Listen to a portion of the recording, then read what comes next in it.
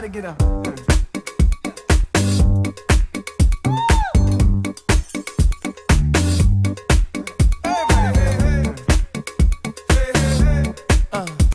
Hey vandaag heb ik voor jullie een opgemaakt video van de maand mei. Het is niet zoveel, want ik maak niet veel dingen op op één maand tijd. Want de meeste dingen zijn eigenlijk van 4, 5 maanden of zo. Laten we maar beginnen. Het eerste wat ik heb opgemaakt is deze Maybelline mascara. Ehm, ik weet eigenlijk niet goed of die op is. Soms doet die niet meer goed zijn werking of komt er niet meer veel mascara op mijn wimpers. En soms wel. Uh, ik heb hem toch bij de opgemaakt uh, video gedaan, omdat ik anders helemaal niet veel heb.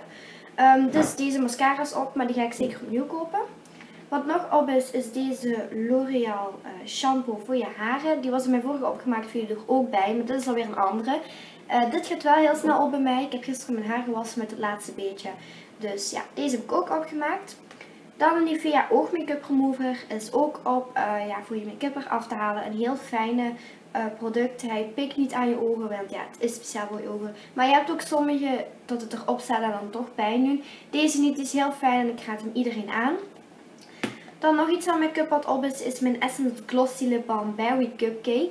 Ik vind het heel jammer, maar ik ga hem zeker opnieuw halen. Um, er komt nog wel wat uit, maar niet meer veel. Er is ook niet meer zoveel uh, pigmentatie. Dus deze is uh, ook op.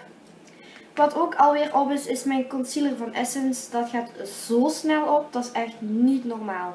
Uh, dit is al mijn tweede concealer. En die andere, ja, ik heb dat nog maar ja, pas ontdekt, zeg maar. Dus dat is al mijn tweede. En die is super fijn. En ik ga hem zaterdag opnieuw halen. Dus deze is op. En wat ook alweer op is, is mijn Essence nagelriemolie. In mijn vorige video hebben jullie die ook gezien. Oké, wordt het niet heel erg saai. Het zijn bijna allemaal dezelfde dingen wat ik heb opgemaakt.